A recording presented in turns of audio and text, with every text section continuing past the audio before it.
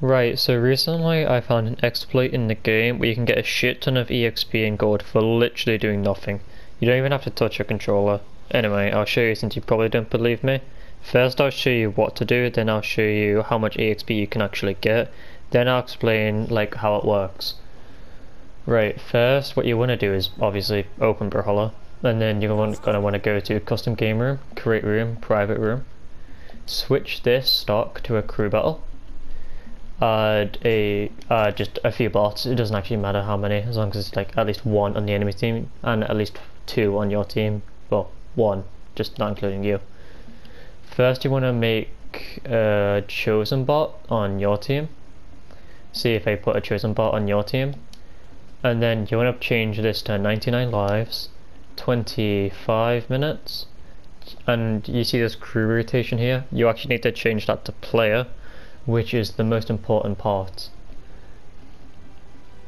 And then once you've done that, you can literally just pick a character. And see, actually I'll pick Munin, because I want to level Munin up since they're only level 12. And yeah, I'll see you when the game's over. Right, as you can see, it's been near 25 minutes and I've done absolutely nothing. You can see I've done 0 KOs, 0 falls, 0 accidents, 0 damage done, 0 damage taken. Haven't even played as all the chosen bot. I haven't even been in the room. I, I'm gonna be honest, I left. I just came back. Right, and if I press square, I've just leveled up completely, and I've just got 250 gold. 1022 XP.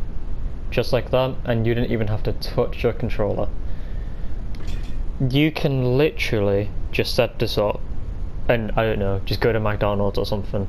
Go order some food, go do anything else, and you this can just be running in the background while you're leveling up your characters. You can easily get level 100 this way.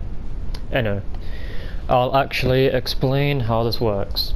So in normal stock, you can see the max time is only 15 minutes, but in crew battle, you can extend it up to 25 minutes, which the longer the match goes on, the more XP you get. And then this crew rotation thing is when a player or a bot dies, they'll still be in, even if they die, until they lose all of their stocks.